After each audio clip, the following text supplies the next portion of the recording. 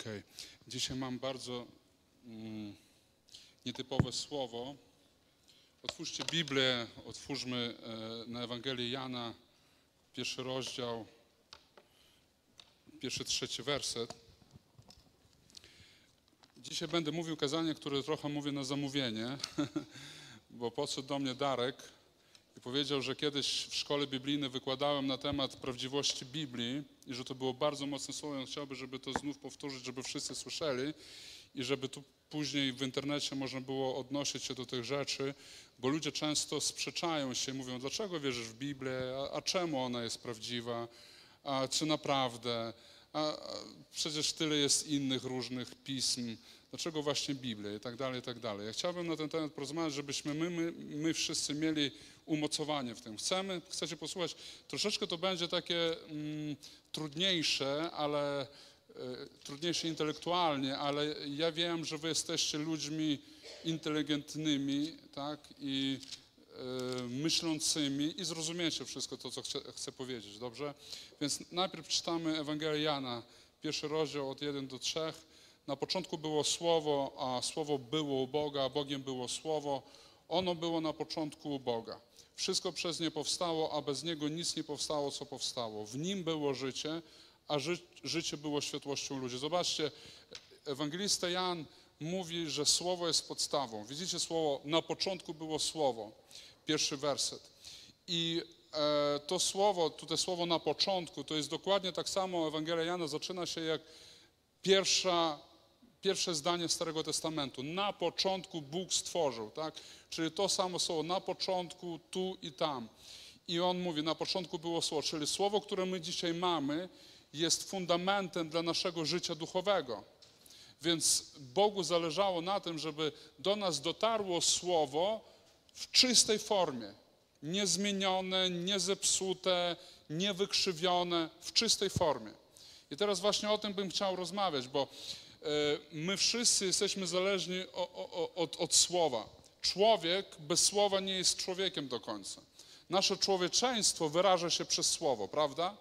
Na przykład, jeśli ktoś non-stop wy, wy, wypowiada K5, to my o tym człowieku jak myślimy? Że troszkę mu człowieczeństwa brakuje, prawda? Jak non-stop łacinę używa. Więc słowo naprawdę coś pokazuje. Bez słowa nie może nic istnieć. Naród jest zbudowany na słowie, literatura, poezja, historia, to wszystko jest słowo, czystość mowy. Profesor Miodek cały program, prawda, zrobił. Kto kojarzy, kto to jest profesor Miodek? Który o polskim języku pięknie opowiada i moja żona lubi go cytować, zwłaszcza kiedy ja nawalam w swojej polszczyźnie. Więc e, my, my, e, ja nie wiem jak w Polsce, w Ukrainie się mówi witamy według ubrania, a żegnamy według rozumu, tak? Tak mówi się tutaj, że najpierw ktoś przychodzi, patrzymy jak jest ubrany, mówimy o, przystojny pan ale jak zaczyna wypowiadać słowa, to bardzo szybko ten czar może zniknąć, albo na odwrót być zbudowany na podstawie słów, które powie, tak? Więc Bóg, kiedy się objawił, mu zależało, żeby słowo zabrzmiało. I teraz na przykład wyobraźcie sobie, wy pamiętacie, kiedy się zjawił e, pierwszy film, pierwsze kino, nie wiem czy wiecie, że kiedy zjawiło się jeszcze nieme, czarno-białe kino, to jeden z pierwszych filmów był film na temat e, lokomotywy. Lokomotywa jechała na widza. Wiecie, co zrobili widzowie? Uciekli z sali. Przerazili się. To jest, uwierzcie mi, wtedy ten obraz nie był w 4K i w 3D, a mimo wszystko uciekli. To był poszarpany, wiecie, taki obraz, że po prostu gołym okiem widać, że to jest jakaś ściema, a ludzie uciekali. Niby obraz przemawia, a mimo wszystko wkrótce po tym wszystkie filmy były z podpisami. Musiało być słowo. Bez słowa nie było kina, prawda? Więc słowo nas kształci, słowo o nas mówi i Bóg ciebie kształci przez Jego słowo. Nie przez po prostu wiedzę jakąś, tylko słowo, które słyszymy, ono ciebie kształci, ono ciebie przemawia. Teraz e, w pierwszym e, punkcie moim, a waszym drugim, panowie, wyświetlcie e, to, co napisałem. Stary Testament był pisany na przestrzeni 1500 lat i autorzy tych pism nie znali siebie nawzajem. Oni nie czytali własnych pism. Izajasz na przykład mógł tam nie czytać jakiegoś innego proroka, tym bardziej Mojżesz nie mógł czytać Izajasza, bo dużo później y, żyło niż Mojżesz, ale jeśli czytać ich pismo, okazuje się, że wszystko jest zgodne w mentalności, w przesłaniu i w teologii. Nie ma między nimi różnic. I to jest jedna z takich y, ważnych myśli, bo jest spójność Starego Testamentu. Na przykład w Starym Testamencie e, istnieli tak zwani masoreci, to tak zwani strażnicy, tutaj masoreci, tak zwani strażnicy Biblii, sprawdzali prawidłowość napisania Biblii w ten sposób, że liczyli litery w każdym rękopisie i mieli wyliczone ile jest liter, nie mieli komputerów, ale znali jak, ile jest liter w rękopisach. Wyznaczali środkową literę tory, wiedzieli, że na przykład jest tam powiedzmy literka alef, po samym środku. I kiedy były przepisywane rękopisy, na przykład brali rękopis, który był przepisany 200 lat później, później brali rękopis sprzed 200 lat, patrzyli jaka jest środkowa literka, aha, jest literka alef, patrzyli na rękopis 200 lat później i szukali, jaka jest środkowa literka. I jeśli był alef, dla nich to było jedno z potwierdzeń, że ten rękopis jest przepisany prawidłowo, że żadna literka nie umknęła, żadne słowo nie było przemienione, bo po tysiącu słowach ta sama litera była po środku. I takich zabezpieczeń oni mieli masę, wiecie. Żydzi potrafią jakby tak skrupulatnie wszystko wyliczyć i y, ustawić we właściwym miejscu. Później Następny punkt. E, od razu przejdę do Nowego Testamentu. Często ludzie mówią, skąd wiemy, że ta Biblia to była ta autentyczna Biblia? I teraz troszeczkę nauki. I dalej będzie do, dużo takich badań naukowych. Istnieje bardzo dużo manuskryptów Nowego Testamentu, czyli rękopisów, bo Biblia była przepisywana od apostołów, była przepisywana ręcznie i w języku greckim w autentycznym języku, w którym Nowy Testament był pisany, istnieje rękopisów z tamtych czasów. Wiecie ile? E, to trzeba wcześniej było chyba. Drugi punkt. W tych. E, gdzie to jest, gdzie to jest? O, to umknęło. Więc e, istniało 5656 rękopisów, które przetrwały w tamtych czasach. W porównaniu, jeśli porównać teraz e, Kolejny punkt poproszę. Zobaczcie, dla przykładu Iliada Homera ma tylko 643 manuskrypty i nikt nie będzie zaprzeczał. O, ciekawe, czy naprawdę to Homer napisał Iliadę. Wszyscy od razu wierzą. Nikt się z tym nie sprzecza. Ale my wiemy, że w naszych nowotestamentalnych rękopisów było co najmniej 10 razy więcej. Czwarty punkt tutaj. Na przykład istnieje rękopisy z tamtych lat jeszcze, aż trudno uwierzyć, ale z tamtych lat, pierwszy, drugi, trzeci wiek, istnieją rękopisy, które były przetłumaczone na języki słowiańskie, czyli tam różne południowo-słowiańskie, bułgarskie języki i tak dalej.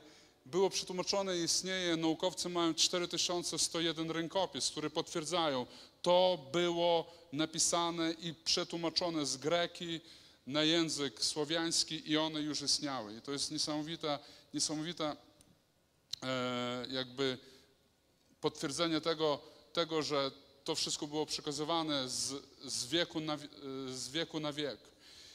Z, uwaga, ze wszystkich starożytnych pism Nowego Testamentu Nowy Testament był najczęściej kopiowanym dziełem. Czyli nikt inny, żaden inny autor nie miał tyle kopii, co było zrobione z Nowego Testamentu. Żaden inny autor, czy Archimedes, Sofokles, ktokolwiek, kogokolwiek wymienisz, nie miał tyle e, przepisanych rękopisów. To znaczy, że naprawdę ludzie widzieli, że to pochodzi bezpośrednio od Boga, że to pochodzi od Jezusa, dlatego oni tak w wariacki sposób to kopiowali, mnożyli. Tego było po prostu masa.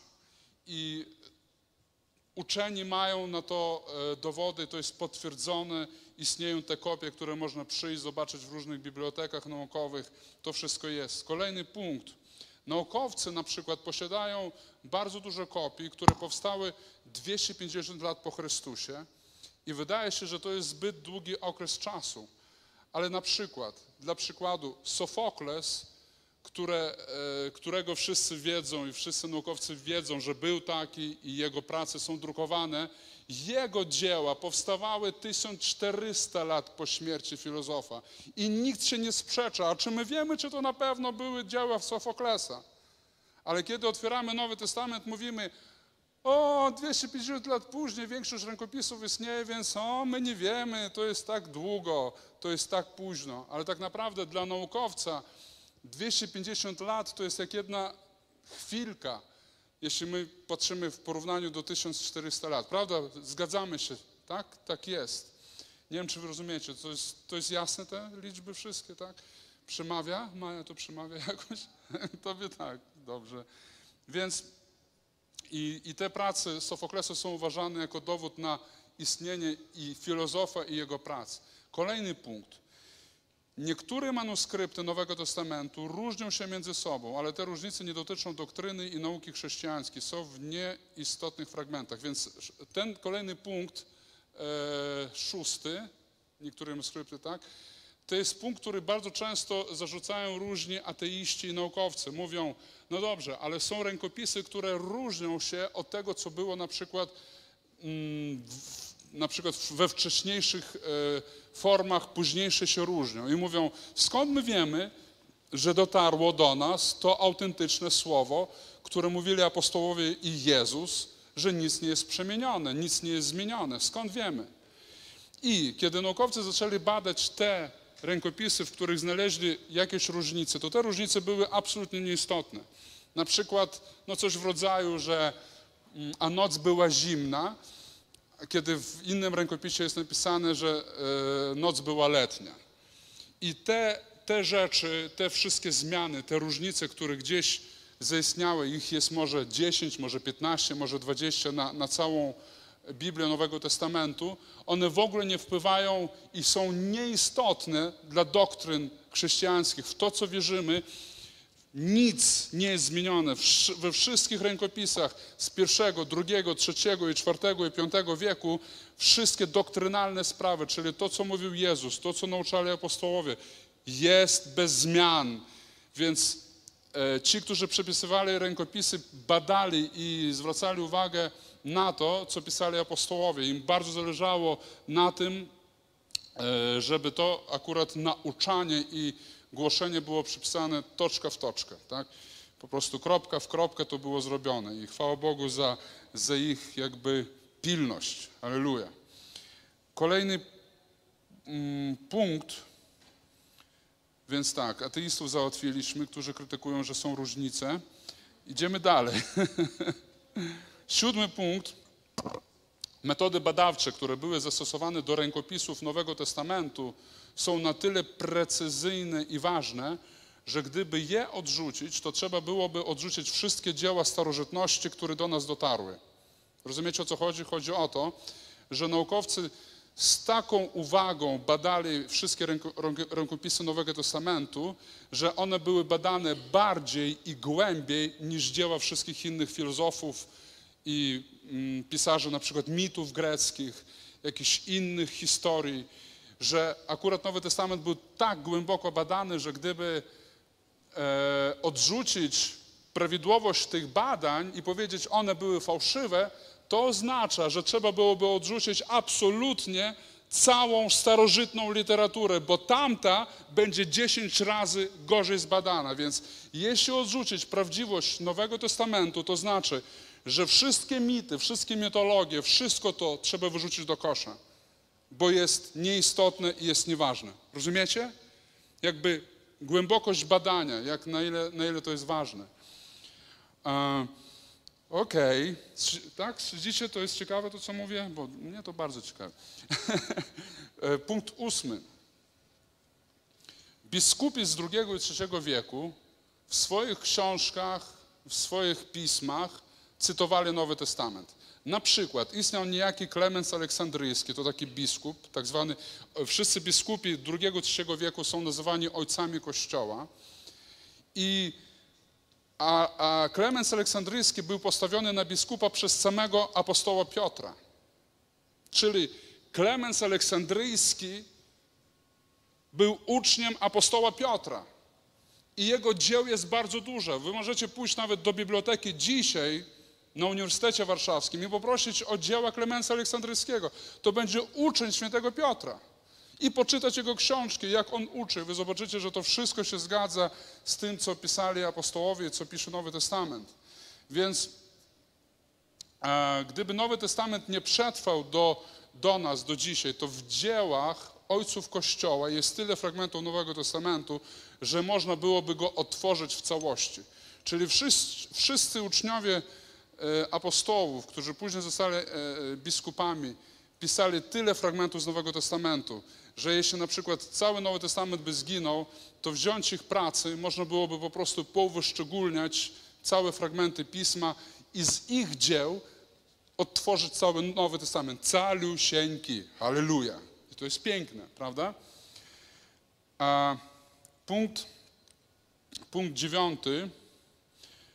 Naukowiec, niejaki taki y, fajny naukowiec Bruce twierdzi, że nie istnieje na świecie zbiór literatury starożytności szczycący się taką obfitością materiału tekstowego i takiej jakości, co Nowy Testament. Teraz co to znaczy materiał tekstowy? Tu troszeczkę e, dochodzimy do, do teologii. Zobaczcie tutaj, ogólnie to widać dobrze? Materiał tekstowy to tak zwane e, w nauce nazywa się wszystko, co było napisane e, przez autentycznych autorów, którzy skupiali się, którzy pracowali na tym, na przykład apostoł Piotr czy jakiśkolwiek inny. I to się nazywa materiał tekstowy, czyli ktoś, kto autentycznie był autorem. Więc tych wszystkich nowotestamentalnych różnych materiałów tekstowych istnieje tyle, że nie ma żadnej innej książki z starożytności, która by miała aż tyle tych dowodów i tych potwierdzeń. Ale ponieważ to nie jest nasz czas i nie jest dla nas ważne, wy możecie to poszukać na różnych apo, apologetycznych stronach i wy możecie zna, znaleźć dużo, dużo fajnych artykułów na ten temat i badań archeologicznych i, i naukowych. Punkt dziesiąty. Uwaga, to jest bardzo ciekawy punkt. Najstarszy istniejący manuskrypt Ewangelii pochodzi z 1000, e, przepraszam, ze 130 roku po Chrystusie. Najstarszy istniejący, ten, który przetrwał. I wy, czyli drugi wiek. Wydaje się, że to już zbyt późno, że może on był w ogóle fałszywy i napisany dopiero w 130 roku. Natomiast, czy wy wiecie, że apostoł Jan jeszcze wtedy żył? Czyli apostoł Jan mógł sprawdzić, czy ten rękopis Ewangelii jest autentyczny. I ten rękopis, najstarszy istniejący z 130 roku e, naszej ery, jest w bibliotece w Manchester, w bibliotece Johna Rylandsa. Jeśli będziecie w Manchester, możecie kupić na jakiś wizer bilecik za 20 zł, pojechać do tej biblioteki i zrobić zdjęcie tego rękopisu, który całkiem możliwe, że sam apostoł Jan dotykał i sprawdzał, czy jest ok. Niesamowite, to jest bardzo fajny przykład. I niedaleko. Ten Manchester jest dość blisko. Dalej. Taki naukowiec e, e, Ravi Zacharias, badacz i naukowiec, powiedział, że Nowy Testament to jest najlepiej potwierdzony przykład piśmiennictwa starożytnego, że nie ma lepiej potwierdzonych przykładów piśmiennictwa starożytnego, że jest najbardziej i, i ma najwięcej potwierdzeń, że jest autentyczny. Później jedenasty punkt. Polikarp, powiedz to głośno. Polikarp, głośniej. O, bardzo dobrze. Więc co to jest Polikarp? To był biskup, tak zwany ojciec Kościoła, który urodził się w 70 roku naszej ery. Jest uczniem apostoła Jana i cytował Nowy Testament w swoich pismach w taki sposób, jaki my znamy. Czyli człowiek, który chodził z apostołem Janem, uczył się od niego i był postawiony przez apostoła Jana na służbę, cytował dokładnie w ten sposób, jak my dzisiaj czytamy w naszych Bibliach. Aleluja. Powiedz aleluja! Więc niesamowite, to jest dla mnie to jest takie, te, te e, kilka, kilka rzeczy są bardzo ważne. W ogóle nauka o pierwszych ojcach Kościoła, czyli Polikarp, Klemens Aleksandryjski, wszystkie ich pisma mają w teologii oddzielny dział. Nazywa się to patrystyka. Patrystyka od słowa patria, ojciec, yy, ojczyzna. Więc patrystyka to jest dział nauki, który bada wszystkie pisma ojców Kościoła, czyli ojców Kościoła wczesnych, którzy byli uczniami apostołów. Jeśli my będziemy czytać ojców, yy, pisma ojców Kościoła, my zobaczymy, na, na ile oni blisko powtarzają wszystkie myśli apostołów i samego Jezusa. Dwunasty punkt. Istnieją krytycy, którzy twierdzą, że chrześcijańskie pisma nie można brać jako dowód prawdziwości, czyli Ewangelie i inne różne rzeczy, bo to jest strona zainteresowana. Jest takie twierdzenie przez, u krytyków, ale to jest błędne stwierdzenie. To tak jakby wybrać na świadka na przykład na temat Auschwitz SS-mana, a nie skazanego. No bo można twierdzić, no bo więzień nie jest zainteresowany opisać wszystko na swoją korzyść. Więc posłuchajmy lepiej strażników obozu. Oni na pewno mogą powiedzieć lepiej. Nonsens? Nonsens. Ale bardzo dużo krytyków w ten sposób próbuje krytykować Biblię i mówić, że Biblia nie ma racji. Że to, bo, bo to wierzące napisali, bo to napisali ci, którym zależało na tym, żeby chrześcijaństwo się rozpowszechniało, to mogli sobie się dogadać kolesie, takie kolesio, kolesiostwo. Tak. Mateusz spotkał Jana, Łukasza, Marko, powiedział, chodźcie napiszemy taką taki grozbuch, żeby po prostu stworzyć sobie taką fajną sektę. A później postawimy papieża, a papież jakby tę sektę rozpowszechni na całą Europę, do Rzymu i tak dalej. To nie tak było. To było jakby, wszystko było zgodnie z tym, co czytamy w Biblii, słuchali Jezusa i później powstawały ich pisma. Okay. Punkt e.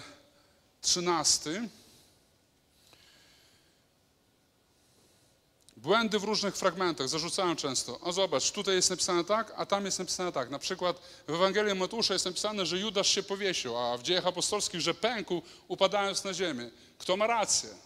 O, to nawet nie mogli się dogadać. Mateusz mówił, że powiesił się, a Łukasz, bo Łukasz jest autorem dziejów apostolskich, powiedział, że upadł i pękł. No to kłamią. Jeden z nich na pewno kłamie, więc Biblia na pewno nie jest nie może być prawdą. Natomiast ten nauko, jeden z naukowców pojechał, pojechał na to miejsce w Izraelu, gdzie zgodnie z tradycją yy, powiesił się Judasz. Co się okazało? Okazało się, że on się powiesił na skraju skarpy, gdzie po powieszeniu, kiedy on już się powiesił, złamała się gałąź albo coś takiego się wydarzyło i on spadł, już będąc martwy, upadł i jeszcze dodatkowo pękł na pół, padając z wysokiej skarpy. Czyli jeden i drugi ma rację. Tylko trzeba po prostu troszeczkę pomyśleć, zbadać, nieraz pojechać, wybadać tę sytuację. Okazuje się, że i Mateusz w Ewangelii Mateusza, i Łukasz w, w Dziejach Apostolskich 1 mieli rację. Aleluja. Aleluja? Tak jest. Werset, e, znaczy werset, e, punkt 14. W Starym Testamencie istnieje naród Chetyci do prawie XX wieku naucy nie byli oni znani. Archeologowie mówili, nie ma takiego narodu. Biblia jest bajką, mit. Nie ma Hetytów, coś wymyślili. Dopiero niedawno w Turcji była znaleziona biblioteka chetycka i wszystko zostało wyjaśnione. Takich rzeczy, a propos, tak jak z Hetytami jest bardzo dużo w historii badań biblijnych. I to, co nie jest znane teraz, będzie z czasem odkryte. Teraz my możemy tych rzeczy nie mieć, możemy mieć absolutnie zamknięte oczy na te, na te tematy, ale e, po prostu trzeba poczekać cierpliwie, tak naprawdę wszystko będzie udowodnione i takie rzeczy były, na przykład Sodoma i Gomora. Bardzo długo było uważane, że nie istniało miasta Sodoma i Gomora. Ja w Izraelu byłem na tym miejscu i widać takie, my z żoną i z dziećmi widzieliśmy takie jakby, jak to się nazywa, wzniesienia, takie jakby takie pagórki, tak jakby po, po resztkach domów, tak, takiej mniej więcej wysokości i wszędzie ta ziemia jest usypana siarką, która w naturze w czystej postaci nie istnieje, a ona tam była. I archeologowie dopiero gdzieś przełom XIX-XX wieku, badając i robiąc e, wykopaliska na miejscu Sodomy i Gomory, odkryli miejsca, mieszkań, które w tamtych czasach istniały, więc Wcześniej po prostu nie było takich możliwości, ale ruch ateistyczny w XVIII wieku, zwłaszcza darwiniści, kochali to mówić. A Sodomy Gomory nie istniało. W ogóle badają archeologowie, nic nie, nie mogli znaleźć, ale wtedy techniki nie było na, na tyle, żeby można było to wszystko zbadać i znaleźć. Punkt mm, 15. Sprzeczności. Ale o tych sprzecznościach troszkę później. Mm, Ja bym Wam chciał teraz przeczytać e, kilka fragmentów, których nie dałem, e, tutaj nie napisałem, bo po prostu mam to w zdjęciach, mam zeskanowane. Historyczna wiarygodność i potwierdzenie e, historii Now- Nowego Testamentu na podstawie innych jakby historyków niewierzących, historyków, którzy badali, e, badali tamte czasy. I na przykład istniał bardzo znany historyk Tacyt z pierwszego wieku. Pierwszy wiek nazywał się Tacyt. Powiedz to głośno. Takie imię trzeba zapomnieć. Tacyt. Jak ktoś będzie mówił, skąd wiemy, skąd wiemy, bo tylko Ewangelie są, nie ma historycznych wzmianek. Jest bardzo dużo historycznych wzmianek. Posłuchajcie jedną z nich. Co pisał Tacyt? On pisze tak. Aby tę pogłoskę usunąć, podstawił Neron winowajców i dotknął najbardziej wyszukanymi kaźniami tych, których znienawidzono dla ich, znienawidzono dla ich sromot, a których gmin chrześcijanami nazywał. Początek tej nazwy dał Chrystus, który z zapanowania Tyberiusza skazany został na śmierć przez prokuratora Poncjusza Pi- Pi- Pilatusa.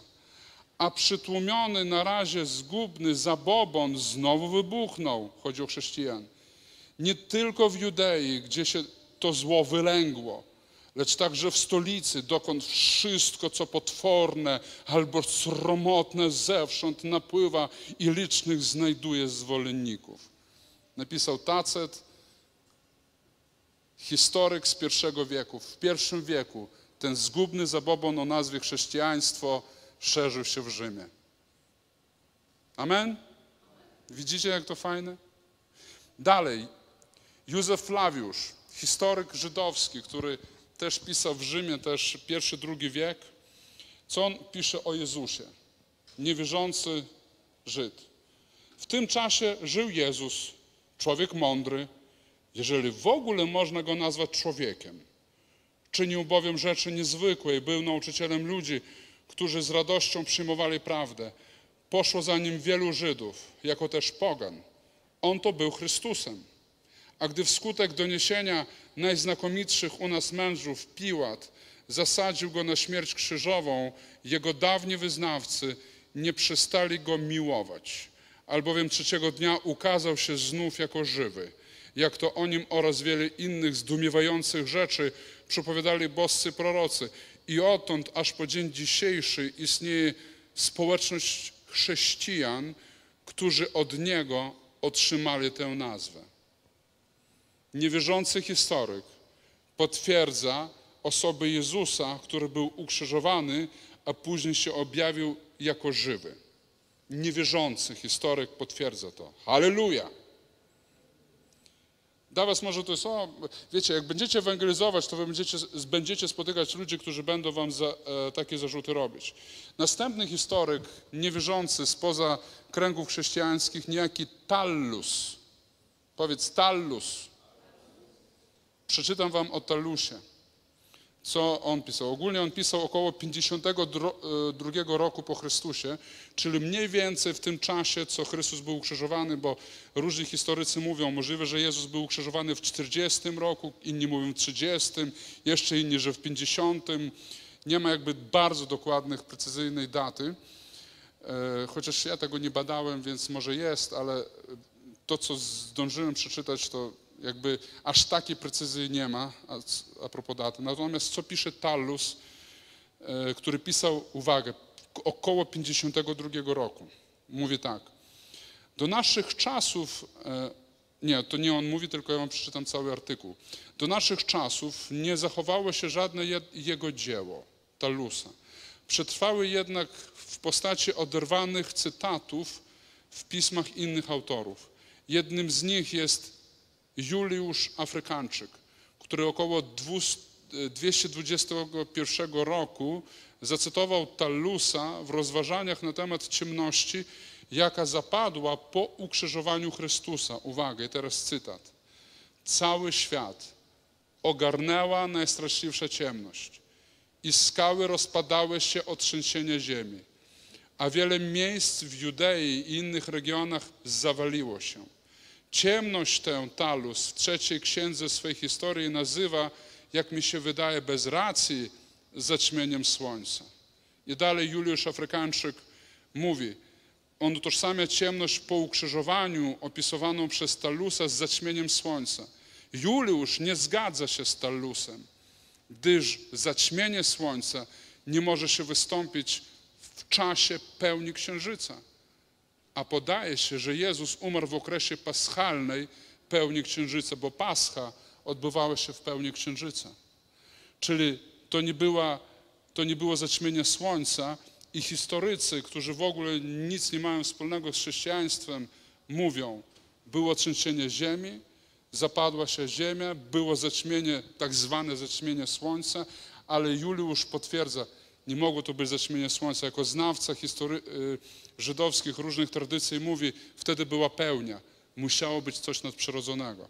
I teraz uwaga, chciałbym wam przeczytać ten sam opis, który przed chwilką przeczytaliśmy z Ewangelii Mateusza, 27, 27 rozdział. I to jest, będzie punkt 15, tam druga część. Mateusza 27. Porównajmy teraz, jak pisał Mateusz y, z tym, co przeczytaliśmy z Juliusza i Talusa. Mm, Mateusza 27, zaraz powiem 50 i 53 werset. Ale Jezus znowu zawołał donośnym głosem i oddał ducha.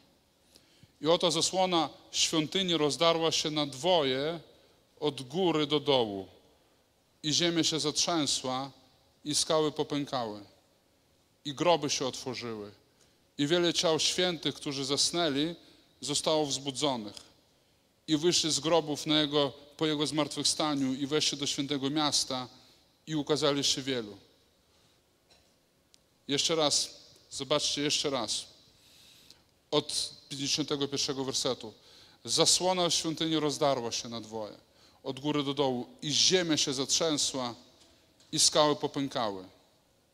I groby się otworzyły i wielu ciał świętych wyszło. Oczywiście e, o tych w zmartwychwstaniu nie mówi Talus, który nie był obecny, możliwe, że nie był obecny przy, przy, przy, w samej Jerozolimie, ale jeśli on był obecny gdzieś w okolicach, to on mówi, że cały świat ogarnęła ciemność. To znaczy, że nie tylko nad Golgotą była ciemność. Ciemność ogarnęła cały świat, to znaczy nad Polską była ciemność, i nad Szwecją była ciemność, i nad Londynem, którego może wtedy nie było, a raczej był, była ciemność. Rozumiecie? Wszędzie była ciemność, czyli cały świat ogarnęła ciemność. Tak, taki potężny kataklizm wydarzył się w czasie śmierci Jezusa Chrystusa. Dla Twojego zbawienia. I e, werset 45. Teraz Mateusza 27, werset 45. Mówi tak. A od szóstej godziny do godziny dziewiątej ciemność zaległa całą ziemię. Widzicie to? Od szóstej godziny do godziny dziewiątej ciemność zaległa całą ziemię. Ważne jest, że jest napisane od szóstej do dziewiątej, dlatego że to wskazuje na to, że to nie było zaćmienie słońca i to nie mogło być zaćmienie słońca. Zaćmienie słońca trwa maksymalnie 60 minut, nie może dłużej. Tyle trwa przejście księżyca E, na tarczy, na tarczy słońca. Nie mogło trwać przez trzy, trzy godziny, więc zaćmienie słońca to, było, to była skumulowana ciemność Twoich grzechów, Twoich chorób, Twoich porażek. To wszystko się skumulowało i zeszło, stąpiło na Golgotę, mordując Jezusa, by każdy, kto uwierzy w Jezusa Chrystusa, był wolny od grzechów i Twoich niepowodzeń, od Twoich nieszczęść, od Twoich porażek. To wszystko zniszczyło Jezusa i zabijało Jezusa, żebyś Ty żył wiecznie i był wolny od tego wszystkiego. Chwała Jezusowi. I e, kiedy ja czytałem Talusa, dla mnie to było takim niesamowitym świadectwem. E, jakiś nie wiadomo skąd, prawda, historyk, który był nie wiadomo gdzie, gdzieś tam daleko, nagle doświadczył tego samego, co, czego doświadczali wszyscy, wszyscy apostołowie, uczniowie, którzy znali i byli pod, pod krzyżem Golgoty. Amen. Muszę kończyć, bo musimy dzieci błogosławić, tak? E, przeczytałem wam większość. Mm, może jeszcze wam przeczytam e, ostatnią z 15 punktu sprzeczność. Sprzeczność z Jakuba 2, 14, 20 i, i, i apostoł Pawła. Na przykład u Jakuba, otwórzmy księgę Jakuba 2, 14. Mówią tak, Jakub pisał, że zbawienie jest z uczynków, a Paweł pisał, że z łaski. To w końcu jak to jest? Jest sprzeczność, jest nieprawda. I chrześcijanie w większości, nie myśląc na ten temat, zrobili to w ten sposób. Po, powiedzieli po prostu, że ok, Jakub ma większą rację, bo logicznie jest zbawiać się z uczynków. Jak jesteś dobry, to Bóg cię też zaakceptuje. Przeczytam wam tylko kawałeczek Jakuba 2,14 i dalej. Cóż to pomoże, bracia moi, jeśli ktoś mówi, że ma wiarę, a nie ma uczynków? Czy wiara może go zbawić? Jeśli brat albo siostra nie mają się w co przyodzieć i brakuje im powszedniego chleba, a ktoś z was powiedziałby im, idźcie w pokoju, ogrzejcie się i nasyćcie, a nie dalibyście im tego, czego ciało potrzebuje, cóż to pomoże? Taki wa i wiara, jeżeli nie ma uczynków, martwa jest sama w sobie. O co chodzi tutaj? Tu nie chodzi o wierze która zbawia i wprowadza Ciebie do nieba. Tu chodzi o rodzaj wiary, która pomaga zbawiać innych ludzi. Tu chodzi o to, że ludzie nie widzą naszej wiary, ale widzą Twoje uczynki. To jest sprawiedliwość względem innych. Natomiast Paweł z Rzymian 4:5, otwórzmy, pisał tak. Gdy zaś kto nie spełnia uczynków, ale wierzy w tego, który usprawiedliwia bezbożnego, wiarę jego poczytuje mu, poczytuje mu się za sprawiedliwość. I totalnie inaczej mówi Paweł niż Jakub. Jakub mówi, rób, a będziesz zbawiony. A tutaj mówi, nic nie rób, wierz, a będziesz zbawiony. My wierzymy w Jezusa, dlatego jesteśmy zbawieni. I tutaj po prostu, ja już powiedziałem, chodzi o to, że my jesteśmy z Jezusem i Duch Święty nas napełnia daje moc, aby żyć w właściwy sposób za darmo, przez wiarę. My wierzymy i to mamy. Apostoł Jakub mówi, czyń, a będziesz zbawiony.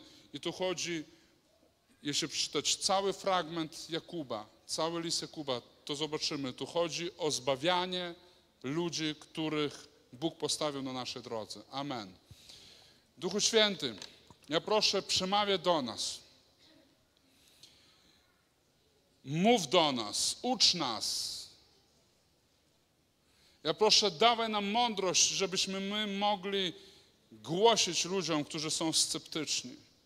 Głosić tym, którzy podważają autorytet Pisma Świętego, podważają historyczność Jezusa. I my dzisiaj widzieliśmy, że są świadectwa, niewierzących ludzi, że istniał Jezus i że Biblia jest prawdziwym dziełem apostołów Jezusa Chrystusa. Ja proszę, wkładaj nam to w naszą pamięć i w momencie ważnych chwil przypomnij nam o tym, o czym dzisiaj była mowa.